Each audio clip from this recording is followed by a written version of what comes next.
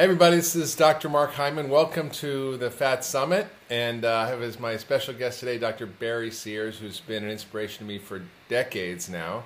And was one of the first people in the field of nutrition to talk about food as medicine, not just as calories, as information that actually modulates your biology and particularly hormones. And he, he was one of the first to really talk about the role of inflammation and diet and how food can be anti-inflammatory or inflammatory. And these concepts were so foreign when he talked about them over 20 years ago and yet now they're actually at the heartbeat of medicine. And, and dr sears is such a pioneer in the world of fat and understanding the role of fat in our bodies and has been a leader in this whole field has written obviously the books we all know the zone mastering the zone uh, the mediterranean zone his new book. And he's, he's just an incredible scientist with an inquiring mind. He's a former research scientist at the Boston University School of Medicine and MIT. He's been studying 40 years studying fat. So, what better guy to have talk about fat with us today? So, uh, Dr. Sears, I, I really know you've, um, you, before you, you wrote your first book, you were really inquiring about how do you prevent a heart attack for yourself because you had a lot of family members who had actually had heart attacks and you were concerned about it. So, you wanted to dig into the research and find out actually, you know, what do I do? For me. And uh, that was the sort of beginning of your journey. So tell us how that inspired you and what it led you to and how you began to connect the dots between food and fat and inflammation and that whole story. Well, it really started out, and first of all, Mark, thank you for inviting me to your conference. I'm very honored. Uh, really, my story started out nearly 40 years ago uh, when my father died in his early 50s from heart disease. Now, he was a world class athlete. Uh, but his first heart attack occurred at age 39, and his final one, his third heart attack, at age 53. Not only did he die from heart disease, but all his brothers did, mm. as did my grandfather. So I realized at that date that I carried the same genes for early mortality from heart disease. That's kind of scary. oh, it's saying, but it's it's a revelation saying the genes are there. You can't change your genes, but somehow you could change your expression. Mm-hmm. And that led me on a journey to being asked the question, how can I change the expression of the genes to decrease the likelihood of a heart, heart attack? Well, I knew nothing about uh, heart attack or atherosclerosis, but I knew a lot about lipids. So hmm. first thing I had to do to find out about uh, you know heart disease. So I uh, you know went to BU medical school and started studying uh, atherosclerosis, and it became very apparent to me at that point that really the culprit was inflammation. Yeah at the time in the it's early, not just a plumbing problem, right? It's actually inflammatory it, problem. Uh, inflammatory problem. At the time, we had two groups of, of people. They're still fighting. You had the inflammation guys and the cholesterol boys, and they're fighting tooth and nail, back and forth, back and forth. Uh, and the cholesterol boys won only because there was a drug. Much easier to measure cholesterol than to measure inflammation. But there was also a drug, right? Well, and uh, there was actually there was a drug, the 19th drug was called a statin. Right. The first 18 drugs are all lowered cholesterol, all increased mortality. Yes. So they were losers.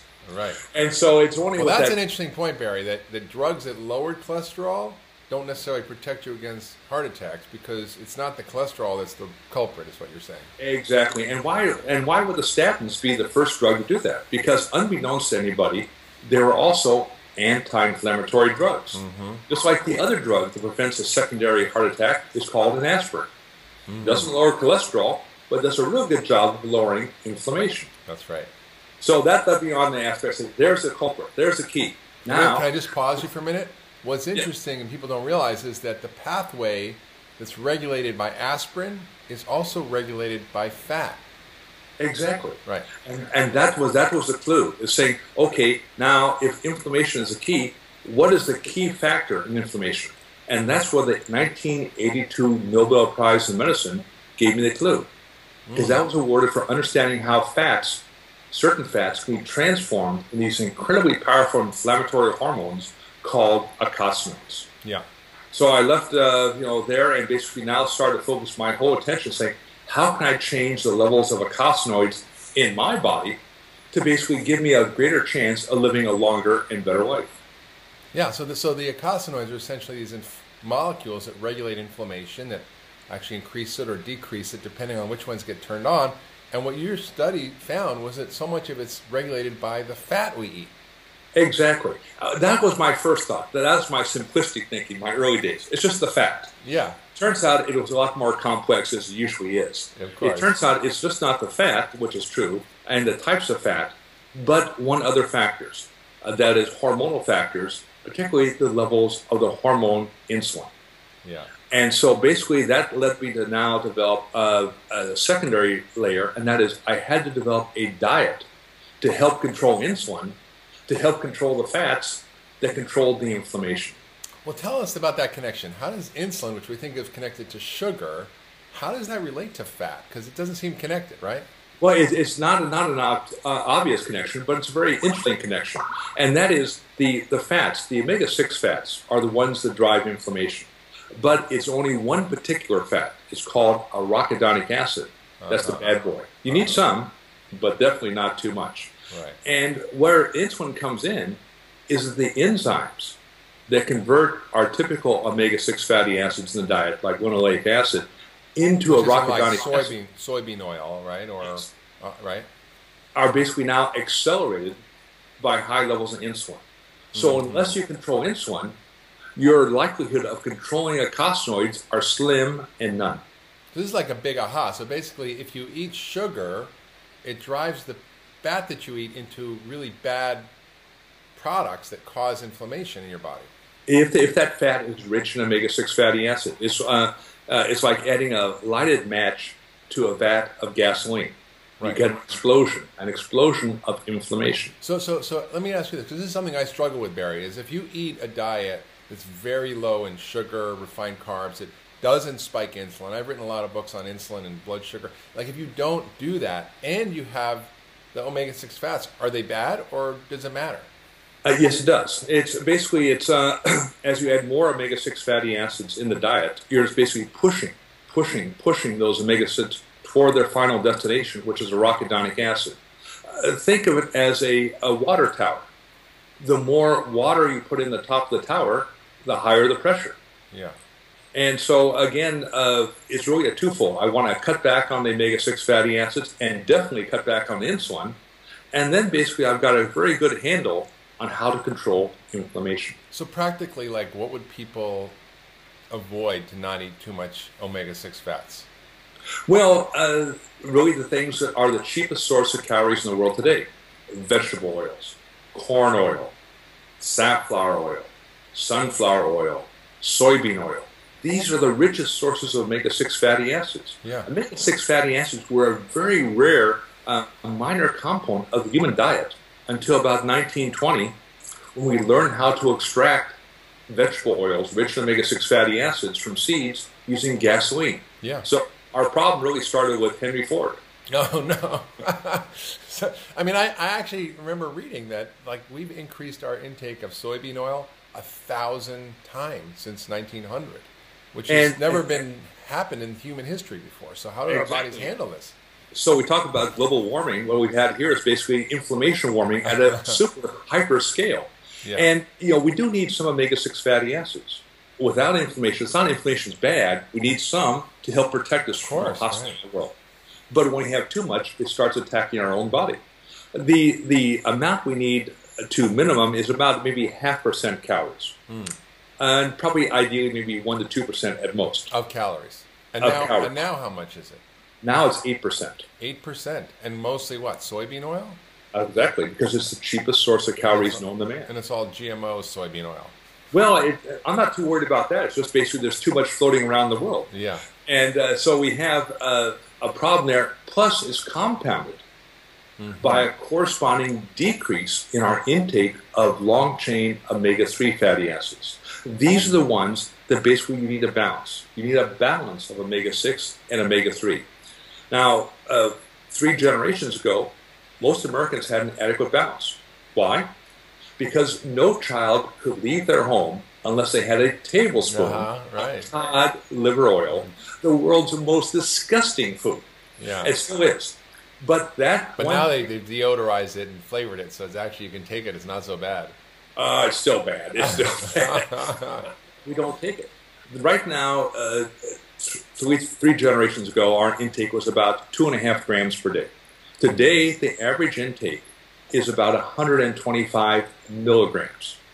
That's a 95% decrease, Decrease, yeah. in only three generations.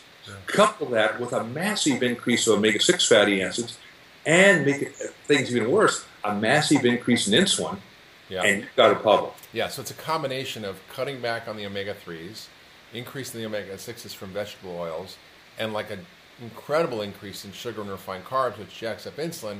So It's like Exactly. the perfect storm It for all these is. inflammatory diseases, right? Including obesity, heart disease, it, it's, hard, cancer. it's, hard, it's hard to name a chronic disease that's not driven by inflammation. Right. In fact, aging itself is an inflammatory process. If Exactly. And that's why I would say, you know, what we think of as normal aging is actually abnormal aging. It's actually a disease of inflammation. So if you can shift your body to an anti-inflammatory state, you can literally delay or even stop the aging process.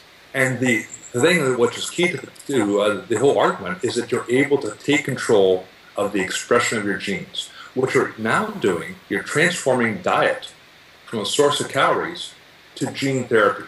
It now becomes the acts, acts as the apex of basically biotechnology. Oh, gene therapy! This is so. Hey, you can do it in your kitchen, Yeah. but we have to know the rules and be consistent. Yeah. So Barry, what you just said is like an atom bomb going off, right? It's like, wow, our genes are not our destiny. We have the capacity to turn on or off genes depending on what we eat, and that the most powerful tool we have to alter our gene expression is the stuff we put in our mouth every day, which is I wish I under could- our control. I, I wish I could take credit for it, but actually, this comes back to Hippocrates. Uh-huh. Let food be your medicine.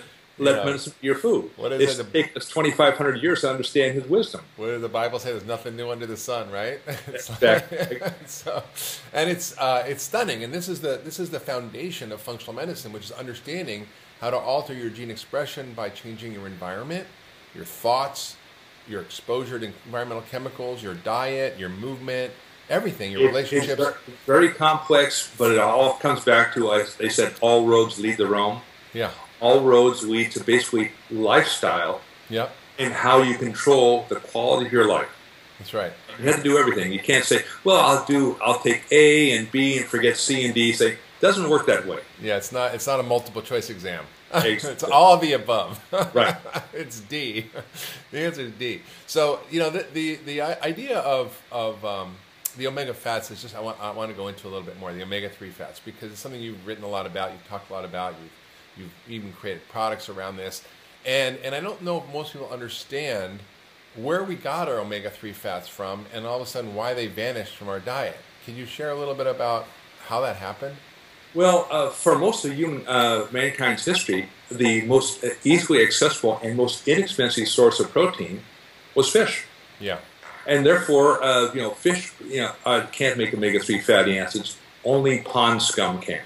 That's right. It's, it- it's pond scum that made us human, and the That's fish are just very uh, uh, efficient accumulators of pond scum. These omega three fatty acids. Yeah. So uh, as long as we're balancing omega six intake and omega three intake, things are pretty good.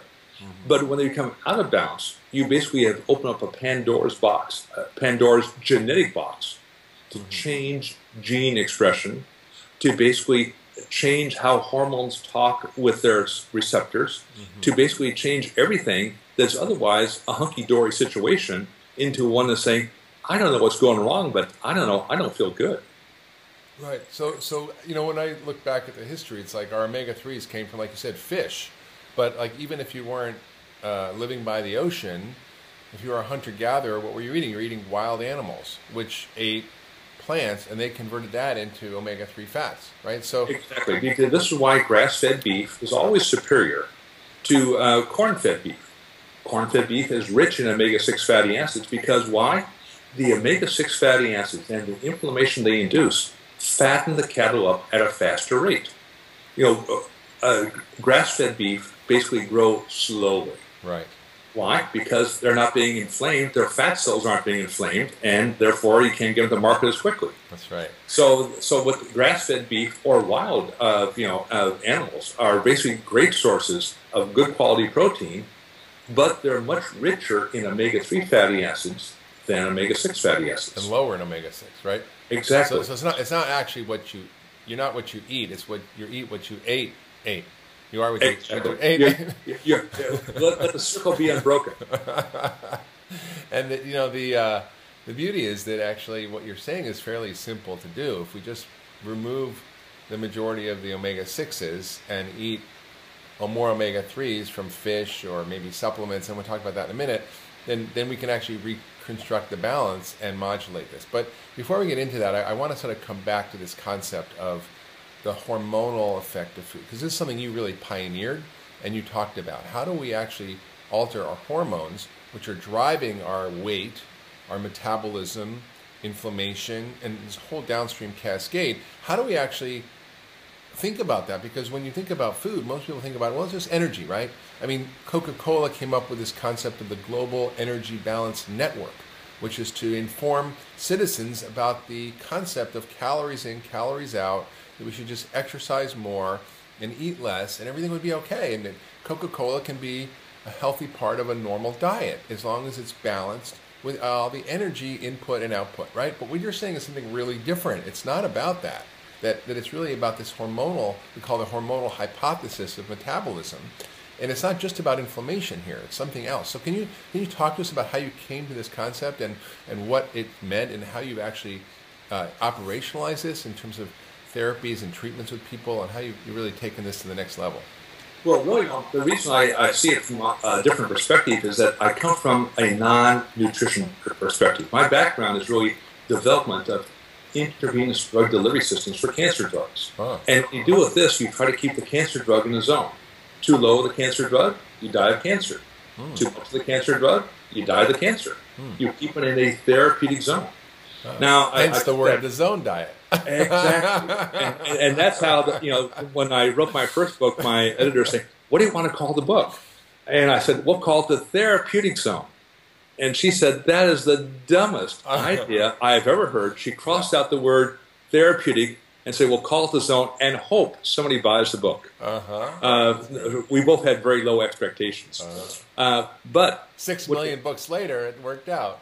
Uh, who knew? Who knew? and, and, the reason I went into science because I couldn't write. Be careful what you wish for. Uh, but it's looking at now not only hormones, but again uh, how they basically communicate. Think of hormones as a cell phone. Mm-hmm. Everybody says, "I I couldn't live without my cell phone." Yeah. When it works, when it doesn't work, you throw it on the floor, you stomp on it, and say, "Oh my God!" Send it back. But that's what hormones do. They allow our cells, we have uh, 10 trillion human cells, to communicate at great distances with great fidelity. Yeah. But inflammation can disturb that. Yeah. So now I can basically, hormones increase inflammation, but now the inflammation caused by hormonal disturbances cause miscommunication between our hormones and every other cell in our body. Yeah. So it's a cascading aspect. So when we talk about insulin resistance, it's really a poster child for hormone resistance. Yeah. Because the insulin's binding to the receptor, but the signal's not getting through. It's like the network is down. So, like your cells are deaf to the effects of insulin. So you and so more and more insulin, and then you get more into trouble with the fats because then you convert more omega six to the inflammatory pathway, and then you're screwed, right? Well, That's yeah, hard. this is like, like like the old Verizon commercial. Can you hear me now? Can right. you hear me now? Right, right. But Barry, you know, here's the problem I have. Like I, I have been studying this for years, and I've read thousands of papers. And when you like look at the literature, it's all over the place. Like you've got exactly. some of the smartest guys at Harvard saying, drink, you know, soybean oil because it's great for you and it prevents heart attacks and like get rid of saturated fats and like, and then you got other guys saying, you know, omega sixes are killing you. Guys at NIH saying we should not be eating that. Guy Hibbeln and Ramsden are saying, you know, the research is showing us that that we actually should not be consuming so much omega sixes, and and then everybody's reading the same literature and coming with different conclusions. How does that happen? Like, and how, who do we believe, and how does it? It's know? like it's like politics and religion. Oh and there God. are three things in life which are very visceral: uh, politics, religion, and nutrition. Once you believe, you choose the data that supports your uh, hypothesis, and say, you know, don't confuse me with the facts because they say nutrition is just so complex. You say it is. And that's why you basically you're always open to new ideas to say, how can I keep adjusting? Yeah. Adjusting the diet so that the individual is in position to basically now make the best use of the hormones and the genes they were given. Hmm. and using the diet now as a gene modulator to basically give you the best possible life that you can.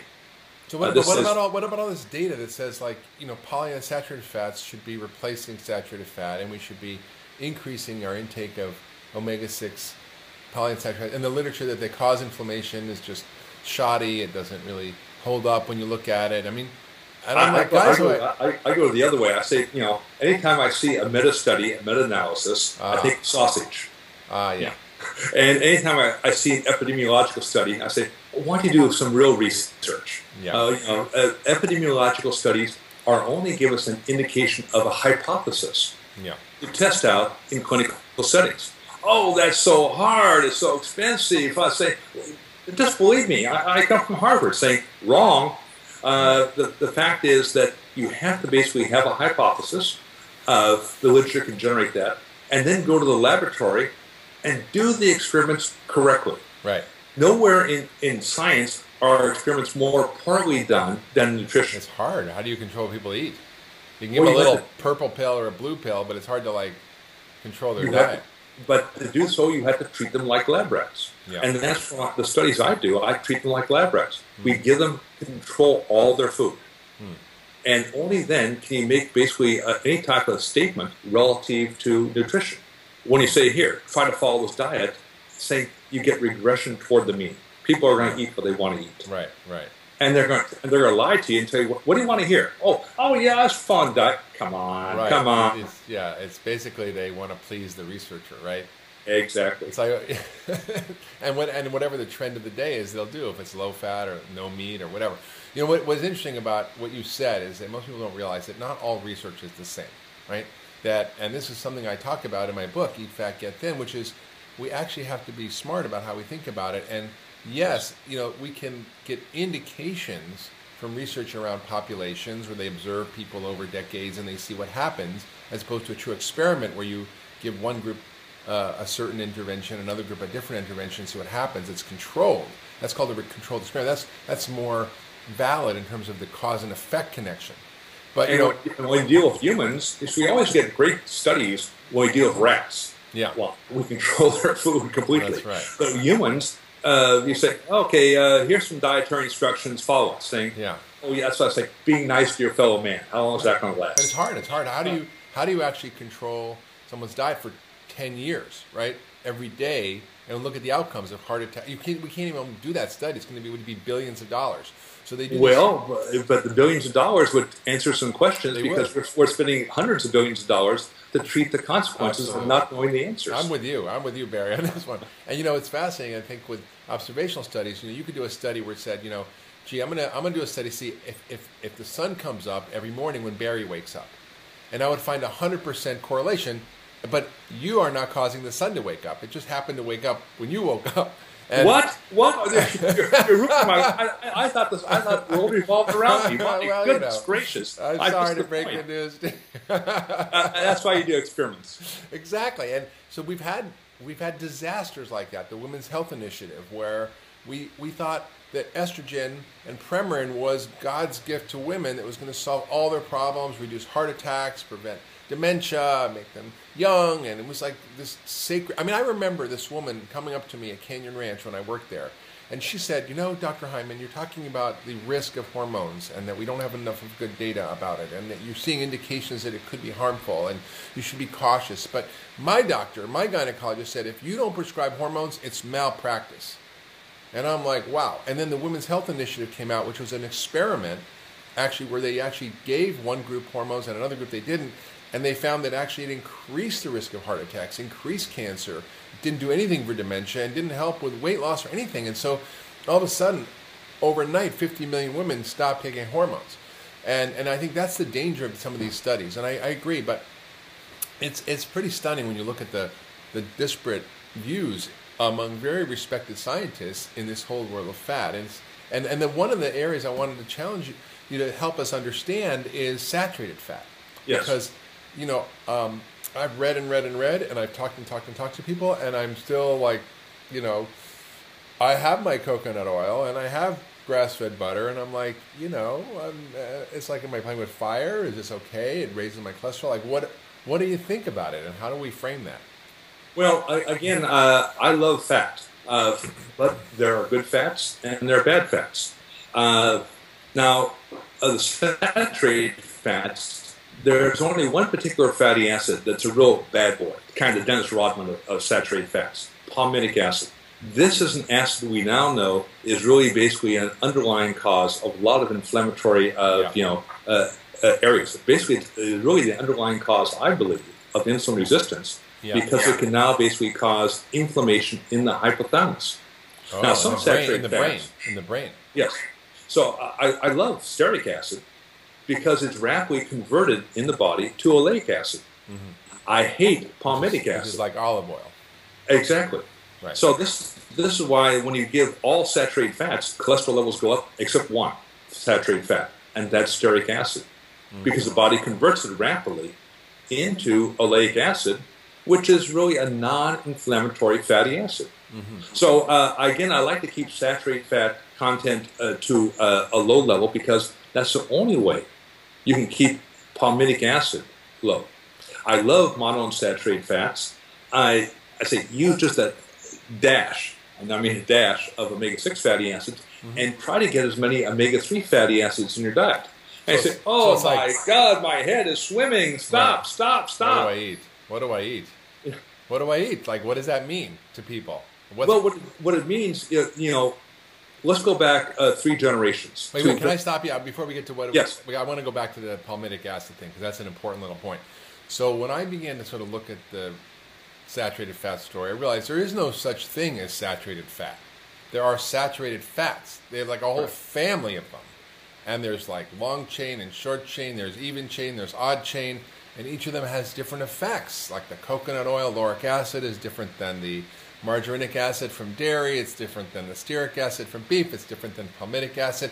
And then on top of that, when you look at what happens when you eat saturated fat, actually it doesn't really affect the saturated fats in your blood in the absence of sugar and carbs. So what we and I wanted you to talk about this a little bit and I want to hear your perspective, but as I began to understand how the body functions, and this is just basic biochemistry, right? It's like when you eat sugar, insulin is created, which turns on a fat production factory in your liver called lipogenesis. You actually convert sugar and carbs into fat. And you know what kind of fats? Saturated fats. So you actually increase saturated fats in your blood, particularly palmitic acid, when you eat sugar. So is it really coming from the fat you're eating or is it coming from the carbs and sugar? That's the question, really. Well, the, the, the de novo uh, lipogenesis in the liver is a, uh very That's a big word. That just means like a fat production factory. yeah. So so I, again, Not everybody that, uh, listening is a scientist, so we gotta like I gotta help you here. with Uh, know, I- that's why I told a few scientists. "Oh, he's really smart." I don't know what the word means. You know, It's so a, that's, a lot that's of like- big words. We gotta like break it down. But that's a, that's a fairly slow process of turning carbohydrates into fat. But the fat that comes out of that uh, lipogenesis is palmitic acid. Right. That's the bad right. boy. Exactly. So uh, our so we have two sources. We have you know excess carbohydrates being turned into palmitic acid, but as we increase the levels of uh, saturated fats in our diet, because palmitic acid is such a major component, we're increasing that also. Hmm. And the poor hypothalamus in the brain says, "I can't tell the difference." So uh, I I've seen have- studies where they've actually done controlled studies, where they're feeding studies, where they've actually increased the fat, saturated fats higher and higher as they've decreased the carbs, and it doesn't affect the blood levels of saturated fat. Like they're not connected. I, I, no, in terms of blood levels, that's true. Like this is Dr. Volek's work. But but in terms of basically its effect on now hormonal responses and inflammation, and that's where basically the uh, it becomes a little more complex. That's why we uh, it's oftentimes we take what we see in the blood and say that's the reality. Say no, it just uh, so that's why uh, a number of our cells, especially the key ones that control appetite, have fatty acid receptors. They can pick up not all fa- saturated fats, but only palmitic acid. Say, hey, we got too much. We got some problems here. Yeah. So it's, it's really acting now at these. Uh, we now have a, understand a whole area of fatty acid receptors. These are called uh, GRPs, Yeah. uh, omega three fatty acids, short chain fatty acids, medium chain fat, and these are key sensors that the cells are saying what type of saturated fat is out there. Is it good or bad? Some saturated fats, especially the short chain saturated fats, are incredibly good. Like what? Uh, Where does that come from? Well, uh, most of that, most of those short chain fatty acids, these are the um, uh, the butyric acids. These come from fermentation from of fermentable fiber. From butter. But butter also contains it. So again, uh, you have butter. That's a good source of butyric acid. Uh, fermentable fiber is a good source of butyric acid. And these are very, very useful fatty acids for a wide number of aspects. Right. And so, what, so you, what you just said, I want to break it down because I don't think people can connect the dots here. So, short chain fatty acids actually are produced by bacteria in your gut that actually produce these beneficial types of short chain fats that actually help heal your gut and prevent exactly. inflammation. Right? Exactly. But, but, it's not actually fat, it's eating fiber, certain kinds of fiber. just, just not fiber, fermentable fiber. Fermentable fiber, right. Most of the fiber we eat would be only useful for a termite. Uh, only a small percentage, maybe 15%. So what is, for, what is fermentable fiber? What would I eat to get fermentable fiber? Well, you eat from uh, things such as um, you know onions, ah. uh, you know asparagus, all things your grandmother told you to eat. Yeah. Uh, these are fairly rich sources, but this is the food that bacteria in your colon need to basically survive and basically maintain uh, basically a, a, a burnt uh, a strong permeability barrier between the 100 trillion bacteria, like the barbarians at the gate, trying to get into the body and say, back off, buddy, back off. And you, you do that by keeping a strong, non-leaky gut. Without those short-chain fatty acids, which are the fermentation products, you're going to have a leaky gut, and you're going to have inflammation all day long. So this is a whole new, like this is a whole new, like rabbit hole we just went down, right? How do you, how do you like, leaky gut is this new concept that is uh, really around how do you keep the outside world outside and prevent it from leaking in to your immune system, like food proteins, bacteria, and, and that happens when we injure our gut, and which we do a lot through antibiotics, through antacid drugs like uh, Pepcid and Prilosec and Zantac, through uh, anti-inflammatory drugs, through hormones, through steroids, through stress, through poor diet, through high sugar, low fiber. All these things alter our inner garden leading to this disruption in this protective barrier like a like a it's like a coffee filter that should let in the good stuff food and nutrients and keep out the bad stuff but that breaks down and then we actually get in trouble and what you're saying really importantly is that when you eat certain foods you can actually create healthy fats in your gut because the bacteria are fermenting those foods and then actually producing these good fats, which actually acts to seal up the leaky gut, preventing exactly. the inflammation, which is what you're talking about. So the story is sort of complex. As the inflammation comes from the fats you eat, but from the fiber you eat, and from the fiber you don't eat, and I mean, this is why you know we write these books to help people figure out. Okay, now it's like I was I'm going to have this concept like WTF should I eat? Like WTF should I eat? Like what if you want to know? I don't care. What is all this stuff? What does it mean? And I think that's what what's so great about your work is that you kind of bring these down into practical solutions for people. Well, and they are complex, and, and that's why one of the problems with nutrition is that we're just at the, the verge of really understanding what's going on. And yet we think we're a lot, a lot smarter than we really are. Uh-huh. Uh, I, I, think one of the things we have to basically uh, really understand, we have to be far more humble. Yeah. It's, it's like, you know, it's like uh, Socrates, I know nothing. Right. I know nothing. And because it's, you know, it's putting all the pieces together, but you end up with something to say, I can do it. And then you come say, wait a minute, this is exactly what grandma told me to do three generations ago. Right. She was a repository of many millennia yeah. of observations of what seems to work. Right, it's so true. It's so true. Like what I think that like Michael Pollan says, he says, you know, don't eat anything your grandmother wouldn't eat, or maybe it's your great grandmother now wouldn't eat. Right? Yes. It's like, and what they ate was all organic, all grass fed, all local, all seasonal, high in omega three fats, low in omega six fats, low in sugar, full of fiber. Like these were, this is just what they ate. It wasn't like now it's you have to go to special places to get it and Whole Foods, but it was just the food we ate. And since the food industry's taken over, they've corrupted our diet. They've filled it with sugar, filled it with omega 6 fats. I mean, the two foods that our government funds yes. in high volumes is omega 6 corn oil, I mean, and corn food and sugar and high fructose corn syrup, and soybean oil, which is the major crop that we grow in this country, in addition to corn. And those two foods are subsidized, and they end up causing so much of the downstream problems we're seeing today. However, I'll, I'll basically go one step further. You know, the, the real culprit is not the, the, you know the evil food industry; it's the average consumer. They said, "I want cheap food." Say, mm. "We'll give you cheap food." There'll be some collateral damage, mm. like a lot, but they'll be say, but it'll be cheap and it'll be very palatable. Mm. And say, "Oh, good! I'm going to basically now take the short-term uh, benefits of the hedonic and say it tastes good, it's cheap, I love you."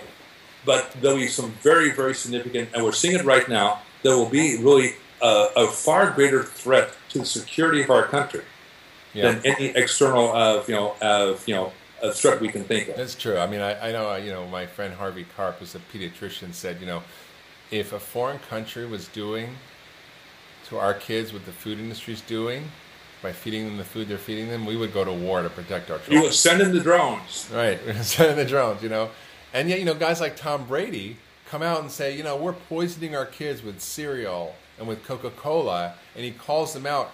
And those companies come out like, like you know, an attack dog on him, just trying to discredit him and, and say, you know, these foods are fine and they've, they're part of a healthy diet and cereal's a great way to get kids vitamins and nutrients. And I'm like, yeah, you take sugar and frosted flakes and you put a few vitamins in it, you say it's good. That doesn't mean it's a good food.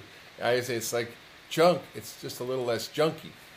You know? Well, and again, that's why that you know, uh, yeah, this becomes a very, very complex problem. It, it's really a social economic problem. It's a medical problem, mm-hmm. uh, but it basically the second largest industry after basically taking care of sick people in our country is, pro- is the food industry. Yeah. And so basically, these are very, very powerful uh, lobbies that say, let's not rock the boat. Mm-hmm. So again, and as a consequence, Americans are totally confused. Totally confused. What should I eat? Yeah, I mean it's challenging. I mean, I I actually am I'm doing a public television show today. I mean, I, this this this month, and I and I and I'm creating this show, and I'm writing the script, and I had to send it to the public television guys to check it out, and they like have their medical experts and all that, you know, and I gave them 500 medical references, and I and I said, look, the uh, Academy of Nutrition and Dietetics, which is the main nutrition mouthpiece in America, gets 40% of its funding from the food industry. And I say it's Coca Cola, it's Kellogg, it's Cargill, it's the makers of high fructose corn syrup and, and soybean oil. And I, and I said, this is a fact. And they're like, oh, no, no, no, you can't say Coca Cola. You can't say Cargill. You can't say Kellogg. I'm like, what do you mean? This is public television, which is funded by the public and what are you afraid of? And they're afraid of the repercussions. And so, public television, which we think of as a sort of left-leaning, independent, socially conscious, you know, voice of the truth, is terrified of the food industry, we're screwed, right? You know, it, it's saying that, uh, and you know, that's why that you know conferences like this are very important because you can say what you feel. That's say, right. Here are the facts. It's saying, say you might not want to hear them, but the facts are the facts. Yeah. Okay, so so let's let's sort of take a, a turn a little bit, and I want to come back to uh, a couple things before we close. One is fish oil and omega three fats, and how do we get them? And I know you you've got a uh, you know a lot of work on this area because the omega three fats are the fats that come from wild food from fish, but they actually push the hormones in the right direction. They push inflammation in the right direction, and you've talked about even using them therapeutically in chronic diseases or inflammatory diseases. And you've actually even created special types of omega 3 fats, and you understand more about it than almost anybody. I'd love you to sort of take us through like what they're about, how they work, and how we should get them, and like what about supplements? Should we just eat sardines or take supplements, and how much, and all of that stuff? Because well, I don't know. I want to know. well, well, well, the first question is how much. Uh, well, the blood will tell you the blood will tell you how much you need. Uh, so you mean a blood test? You do a blood test? There's a blood test looking for two, the ratio of two fatty acids. Is that the omega three index? No, no, no. That's not a very good test. Uh, uh, is it? And, and, the reason why, because you're looking at basically the balance of pro-inflammatory and anti-inflammatory uh, fatty acids. Arachidonic acid is the most pro-inflammatory. I use EPA as the most anti-inflammatory omega three. So it's you need AA a to EPA ratio. Exactly. Now, uh, if we look at the from an epidemiological standpoint, uh, people have a, a, low ratio. The Japanese are the longest lived people in the world today. They have the longest health span. That's longevity minus disability.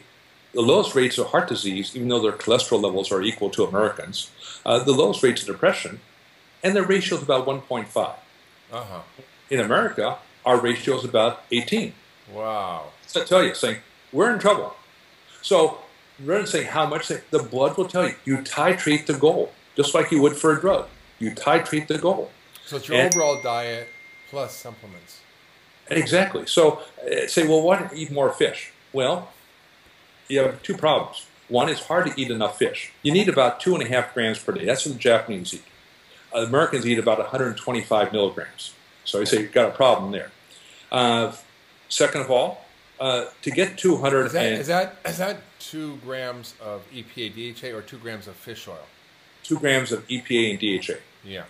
So now, if like you want fish oil capsule might have a thousand or one milli, one gram, but I know it might have like 300 exactly. milligrams of EPA. So you need like like a, a lot.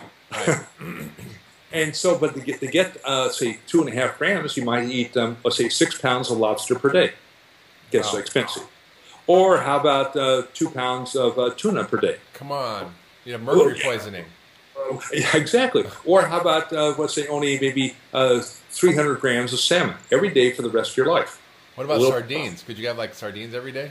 Yeah, but you both have problems. There's no fish in the world today that's not contaminated with both mercury and PCBs. Mm-hmm. You can run, but you can't hide. Mm-hmm. So you've got some problems because now we know the more PCBs you take in, and we'll talk about nanograms of material, you yeah. raise heart disease by about 60%. Yeah. So purified fish oils become a way of getting around this problem. Yeah. Uh, but again, how much you need, the blood will tell you. So how do you how do you get that blood test? Because your doctor's well, not doing it. Well, that's why you're right. The blood won't, and people hate to give blood. That's why they have their annual physical every five years. uh, uh, I hate to give blood. So you had to develop a finger stick test. Say, ah, a drop of blood, and I can tell. Now, there are a number of companies that basically have that you can just buy online.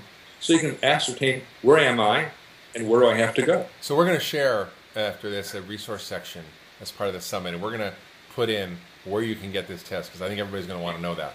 And because it becomes now, if you do only one test, in my opinion, only one test, blood test in your entire life, that's the test you so want to do. So what should the ratio be? Uh, you want to be, be about 1.5. It's like you want to be a Japanese guy.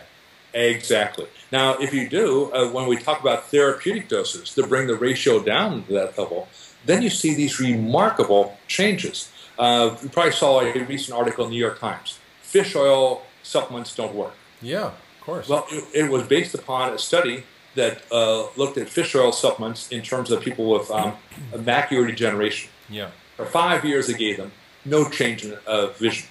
Yeah. But they're using a placebo dose. Once right. we did, the same study and used a therapeutic dose, you see these dramatic changes in vision in six months. So what you're saying is like if you give a milligram of aspirin, it's not going to work for your headache, right? But if you give 325 exactly. milligrams, your headache's going to go away. And they, they, so it's like the study was set up to fail. Exactly, and so that's why we have to begin to treat food, say what is the food or agent we need, and what's a therapeutic dose. Yeah. Wow. It's, uh, it's, we, we have to get away from saying, oh, it's, we can't talk about. Say, of course, you have to talk about therapeutics. This is basically food controls our future. So there's no like more a, powerful drug, right, than food. It, it, and it basically, we know how to handle it. We don't know how to handle uh, pharmaceuticals very well, but right. we can handle food pretty well. Right. So, so what should people take? Should they take like two grams of fish oil a day as supplements? And should what ratio of EPA and DHA? Like, what should? I I always like to use a two to one ratio because you need them both. They do, do different things. Mm-hmm. But that's why how much should you take? It depends how much inflammation you have and where it's located.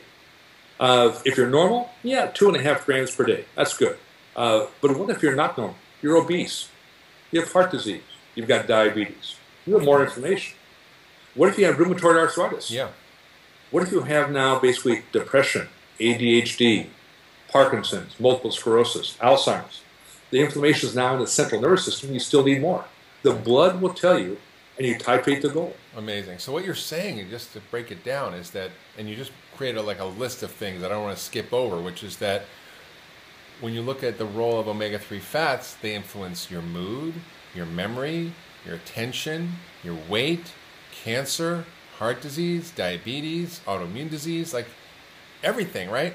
Because everything is really revolves around inflammation, and that's why I like to use high dose because at higher doses they not are no longer anti-inflammatory; they are pro-resolution.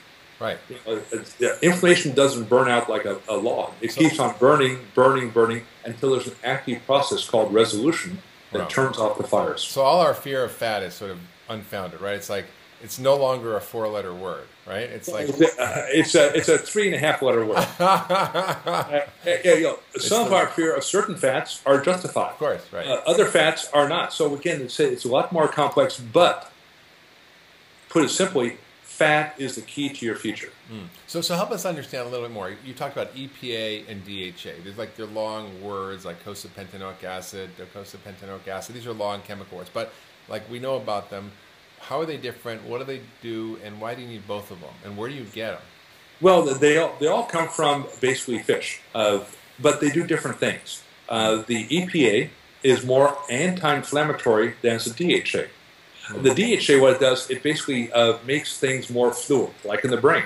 Yeah. That's, that's why you find high levels in the brain to basically make the uh, synapses more readily to take up and pull back neurotransmitters. So basically, a fish for brains. Exactly. That's why your grandmother said, "Eat your fish; it's brain food." She was right. And so uh, uh, these are things we have to have. And if we go back to Paleolithic times, our best estimate that our Paleolithic ancestors consumed about six grams a day of omega-3 fatty acids. Mm, amazing. So, so Barry, I want to I want to ask you something. You you wrote the zone in 1995. You've written a new book called the Mediterranean Zone, and I'm I'm wondering how has your thinking changed and like what have you learned and like what's different and what should we be doing? What is what does an average day of eating look like based on your concepts? Well, the, the zone really hasn't changed in the last 20 years, but what has changed is our knowledge. When I wrote the zone in 1995, our knowledge of polyphenols was zip, nothing. So what are polyphenols? Now we know they're, polyphenols are the chemicals that give fruits and vegetables their color. Now, why do we know they're powerful? Because they activate genes. Ah. And these are the genes that turn on the enzymes that are antioxidative enzymes. They turn off inflammation, and they basically slow down the aging process. But only if you have enough. And so the book, The Mediterranean Zone, was not about the Mediterranean diet. It's really about a book about polyphenols. Oh. Why they're yeah. important, why you need lots of amounts. And this is why the key of the uh, Mediterranean diet was saying it's one that's rich in polyphenols. It could be richer, and better, but basically that's the reason why it has its health benefits. That's so great. You know, what you said there is like a whole other concept, right? Which is fats regulate hormones, fats regulate genes, and if you eat the right fats, you can turn on all the anti-aging, anti-disease genes. But also what you're saying is it's a whole other world of colorful plant foods, like the rainbow of colors is actually where this other medicinal qualities in food lives, which is, I call it the phytonutrient index. What are the, and I don't mean phyto as in your dog, I mean phyto as in plant which is plant nutrients that are not vitamins and minerals, are not carbs, fats, or protein. There's other stuff with these long names, but they're they're actually modulating everything in your body all the time. I, and I, I say in the book, I think within 10 or 15 years, we'll realize that polyphenols are essential nutrients. Yeah. Uh, they're essential nutrients for us, but they're even more essential for keeping our 100 trillion bacteria in the gut happy. Yeah. And uh, that's why we have to have adequate levels of polyphenols every day to basically maintain homeostasis. That's right. Well, that's you know that's what I, I think about. Like, how did this happen? Like, and I, and as we evolve, our, our biology is pretty lazy, right? If we don't have to make stuff, we don't make it, right? If we don't have to make vitamin C, then we don't. Like a lot of animals make vitamin C, but we don't because we get it from our food. So, if, and and in fact, you know, even look at your bacteria. You've got, you know, maybe you know, 10 times as many bacteria as your cells. You've got 100 times as much bacterial DNA as your own DNA. And you're lazy. You've got about, as many genes as an earthworm, but we're more complex. How? Because we're borrowing the genetic machinery of these, you know, this 2 million genes or 3 million genes of bacteria that live inside us to run all sorts of stuff in our body. And the, oh, way, to, And, we're only beginning to touch, touch on this. And this is why we have so much, you know, basically hubris. We think we're really special. Yeah. We're basically a, very large bacterial colony walking around in an outer sheath of That's human right. cells. We're, we're just a, we're just a carrier for these bacteria. And what you're saying is like these polyphenols actually are fertilizing and helping these things work better in our gut. Well, not, not fertilizing. Uh, the the the, the, uh, the prebiotics will be the fertilizer, but what the polyphenols are are the landscape gardener. Ah, yes. They're determining what plants stay, what plants go, and Yeah, the, the bad guys out, the good guys. I'll, I'll, I'll keep you around, and basically we'll be we'll work out together. And they also they also not only do that, but they also regulate our our detoxification in our liver. They regulate inflammation. Like you've talked about curcumin, you talk about rosemary, you talk about all these you know capsaicin from from hot peppers. You talk about these resveratrol from red wine. You talk about you know all these different polyphenols that are from these plant foods that we know actually have profound benefits. And it's all about eating delicious, colorful, yummy food. You know, But but now it comes back to that. You know the the amount. How much do you need? Yeah. you need a lot. Yeah. So uh, what's a good rule of thumb? How to get enough polyphenols? Plan to eat two pounds a day of colorful carbohydrates. vegetables. Say Vegetables. primarily vegetables, a little fruit. You don't mean like you don't mean like pink cake. You mean like Uh, you know, because people were like, oh, I can have the uh, the red donut. that, yeah, yeah, that, yeah that, that looks like an apple to me. But but you need because polyphenols are in very low concentrations, so you have to get a therapeutic dose. So and you uh, recommend that, like you recommend like like Vitamix like like smoothies with vegetables or yeah, if you want to eat about uh, you know, drink about uh, 15 gallons a day. Well, how do you get it through supplements through diet like through Well, Well, diet, if you're willing to eat the two pounds of vegetables, uh, you could probably do it. Uh, but uh, again, this is where the whole area of polyphenol extracts, like one of the most interesting ones, are those from cocoa, chocolate. chocolate. Who doesn't like chocolate? Yeah. Uh, here's here's a little dirty secret about chocolate. Every dark chocolate bar known to mankind is rich in cadmium and lead. Every chocolate bar. So I say, would you like your chocolate bar with or without lead paint chip? What? Tell me about that. Well, uh, uh, again, because uh, the cocoa beans themselves basically do pick up a lot of cadmium and lead because they're grown in a very narrow geographic location, and is almost impossible to get rid of. You can only get rid of it by making extracts. Now, the leader of the field, surprisingly, is a company called Mars, Yes. and they had recent publications using their cocoa extracts free of cadmium and free of lead that at very high levels they have, have dramatic effects Yeah. on terms of basically memory and basically brain function. Yeah. But you have to have special chocolate, and it's not a Mars bar. No, but but but the, but the special chocolate, the darker the chocolate, the more of the cadmium, the more the lead. In fact, a number of uh, companies, very high-end companies, are being sued in the state of California for having uh, violating what's called Prop 65 in their levels of cadmium. That's a bummer, Barry, because like I love chocolate. But, but, but, but again, it says now science can help us say we know what the active ingredient in chocolate is. We can purify it, and then we can do clinical trials and say, my God, it works. Amazing. I just have to take enough. so uh, we only have a few minutes left, Barry. What, what do you eat for breakfast, lunch, and dinner? That's what I want Well, to know. I, I call And what supplements do you take? Uh, well, as few as possible. Uh, I think the ones that basically have any you know clinical benefits. But what do I usually eat? Here's a good breakfast. I might eat an eight egg white omelet, throw a little guacamole on there, and have maybe half a cup of slow cooked oatmeal, and throw some blueberries in there. That's breakfast. Why Uh, egg white omelets? Because like I thought we now know that cholesterol is like off the bad No, list. no, no. But basically, the uh, remember we talked about arachidonic acid. Yeah. The yolk is the richest source of arachidonic acid. Ah, If you, you go all this effort to get rid of arachidonic acid, don't put it in your mouth like foie gras. Uh, for lunch, I might have four ounces of chicken breast, three to four cups of cooked vegetables, Oh.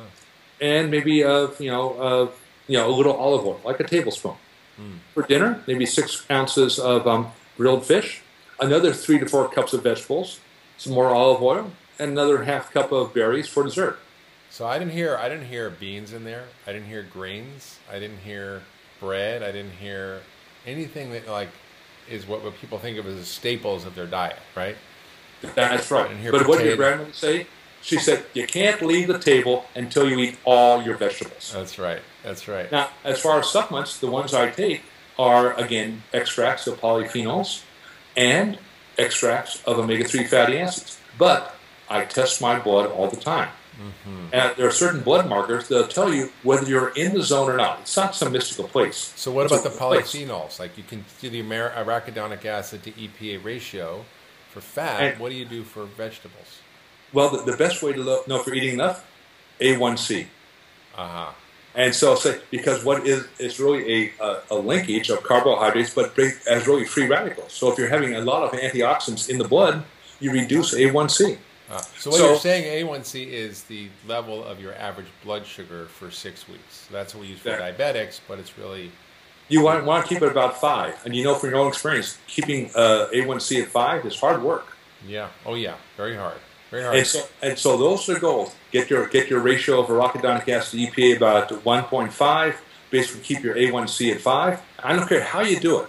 If you're pulling your earlobe three times a day and you're doing it, you keep pulling the earlobe. It's working. Yeah, and, uh, and how old are you, Barry? Now? Now, I'm now 68. Amazing. So, how do you feel? I feel pretty good. Yeah, and your I, weight's yeah, I, good. I, you feel good. Yeah, again, uh, you know, I'm not in jail. This is this is this is you know, your life's good.